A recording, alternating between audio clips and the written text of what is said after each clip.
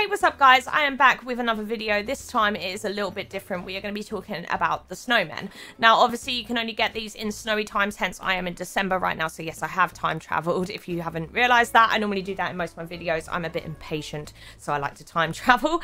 Um, but we are going to be talking about these snowmen. Now, to make them, obviously, you need to have snow on the ground, like I just said.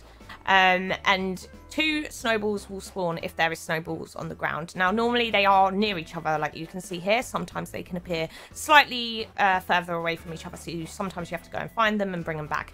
But basically what you do is just keep kind of rolling the snowball until it gets big.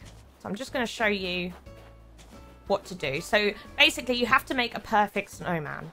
Now, if the snowman is not perfect, you will not get a DIY recipe. Now, this is the best way to get the frozen DIY recipes. Um, and I'll quickly show you an example of what some of these are, because I've got a few now. So I just got this one, which was the frozen chair. Um, but we have a few more that I've actually uh, got by doing this. So we've got the frozen counter, the frozen arch, frozen sculpture, and uh, the frozen tree at the moment. And then we've got the frozen chair. So those are the... Uh, kind of recipes you can expect to get from the snowman. It's basically the frozen things. Um, now, to get the large snowflakes, you actually get them from getting the perfect snowmen as well. Um, and if you talk to them once a day, um, melted or not, um, it takes them three days to melt. If you talk to them every day, they'll give you a giant snowflake. But, but please bear in mind that these snow snowmen have to be perfect snowmen to get these large snowflakes. Now, obviously, to get the uh, small snowflakes, they are just kind of flying around, as you can see here, and you can just catch them. But to get the giant snowflakes, I believe the only way I've found to get them right now is from the large, uh, the perfect snowman. So right now I'm just going to make the body, and then we'll make the head, and I'll show you exactly the sizes that they need to be to make it a perfect snowman.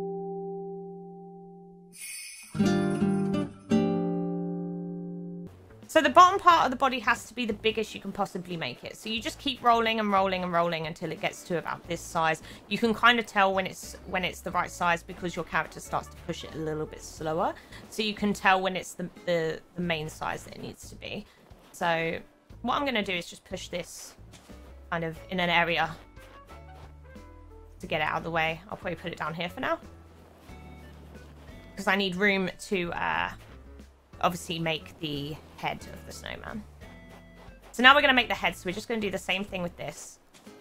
Now, please bear in mind that if you put the head on the bottom head of the, the bottom half of the snowman, rather, um, and it is not the perfect size, it will say, oh, you haven't got this perfect, or, oh, you know, slightly there, not good enough, and he'll tell you that it's not right, and you won't get a DIY. So it has to be the perfect size. It has to be slightly smaller than the bottom half, as you can see um, on my other snowman. But I will show you the size. I'll stand next to it and I'll show you exactly the kind of size that it needs to be for it to be a perfect snowman.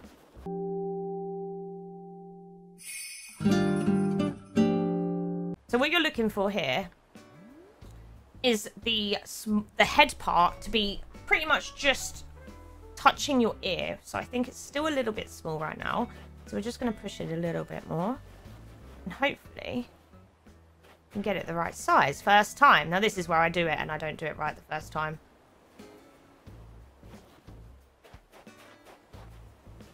My heart is pounding. Come on. Right, I think I might go for that. That looks kind of right to me. Oh, and then I doubt myself. you kind of want it to just be by your ear. So we're going to go for this. Okay, we're to go for this one. I think this is right. Your perfect snowboy is here. There you go. So that was a perfect snowboy. It's not braggy if it's true, and it's only true because of you. Point, Just point me in the direction of the nearest snow museum, and I'll be on my way, because that's where I belong. oh, I can stick around here and show the locals what a flawless snow creation looks like. Can't praise you enough for your top-notch snow sculpting skills. Whoa. That's kind of hard to say. so this is how you know that you've made a perfect snowman. He'll give you, see, I'm going to get a DIY recipe. He'll tell you what it is. Oh, I've been wanting the frozen bed. I'm so happy. Um, so then he gives you that. He also gives you a large snowflake. And that is that.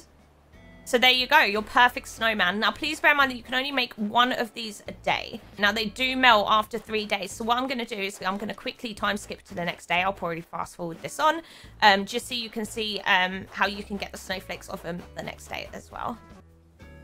So I am now on the next day. As you can see, I am on the 26th of December now. One of my snowmen is completely melted, but we still have um, some here. The one I built just now is starting to melt. And basically what you have to do is just come and speak to them every day and they'll give you a large snowflake. Now, they'll only give you large snowflakes, I believe, if they were perfect snowmen. Um, but they'll give you one each a day, which is really cool because these are really hard to come by, so it's awesome to get, you know, a few a day. If you can get at least three snowman, you can get three a day, which is awesome. Um, and obviously, more snowballs will appear as well, so you can go ahead and make yourself another one. Now, I will just point this out before I end this little uh, snowball tutorial, is that, like I said, sometimes the balls will be near each other, sometimes they won't. So I know for a fact that my other snowball, for some reason, spawns up here. So sometimes they won't be really close by, but they'll be sort of near. So if I'm right, it should be up here. There it is, right there. Uh, and the best way, because I'm not, let's be honest, no one wants to kick that all the way down there. Uh, so the best way to get rid of it is kind of just kick it against a fence or kick it into the water. Get rid of it. Um, and it will respawn. But the best way to get it to respawn the quickest is to basically just run back to your area. It won't be there yet, but you go to a shop. I normally do Nook's Cranny because I find it's the easiest.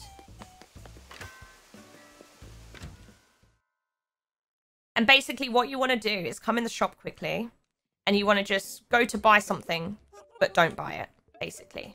So you want to go, hey, look at this. And then go, no. And that basically resets everything outside. That resets balloons and everything.